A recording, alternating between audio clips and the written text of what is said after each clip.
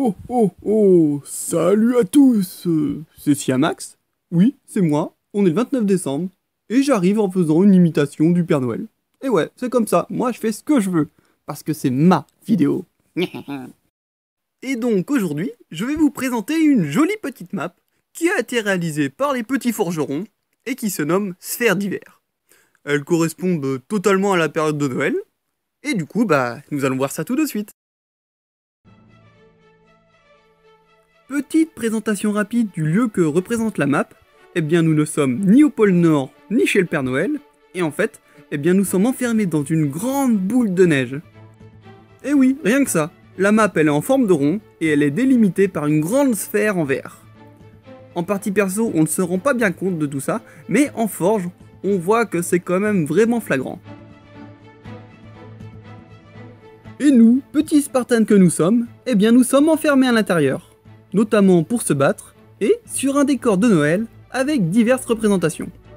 On y retrouve pas mal de choses, comme notamment une usine à cadeaux, qui est d'ailleurs est en pleine production, avec le Père Noël et son traîneau juste devant l'entrée. Il y a aussi une maison en pain d'épices, avec à l'intérieur une marmite et une potion qui se prépare tout seul, normal. On aperçoit aussi un campement avec des tentes, et plusieurs activités disponibles, comme par exemple un barbecue et de la pêche. Et un petit peu plus loin, on voit aussi des rails qui mènent jusqu'à une mine. Le tout dans un décor montagneux et plusieurs petites autres structures parsemées de plein de petits détails.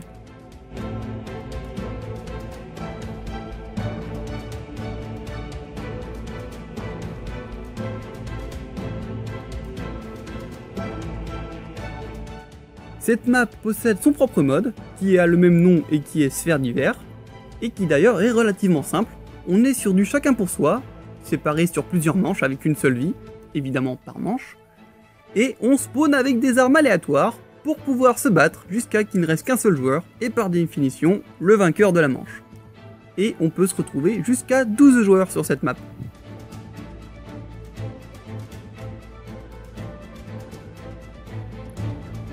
Au niveau du gameplay, eh bien nous sommes sur quelque chose d'assez simple mais efficace, en tout cas pour du fun, on peut monter un petit peu partout et prendre pas mal de hauteur, notamment pour avoir un bon visuel sur les autres, mais pour ne pas trop avantager les snipers, ah oui parce qu'ils sont vilains les snipers, eh bien les joueurs qui se trouvent au sol peuvent rapidement se mettre à couvert et contraindre le tireur d'élite à descendre pour un combat au sol. A première vue, on pourrait croire que c'est un petit peu le bordel pour se déplacer, mais en fait non, pas du tout. Le déplacement reste très fluide.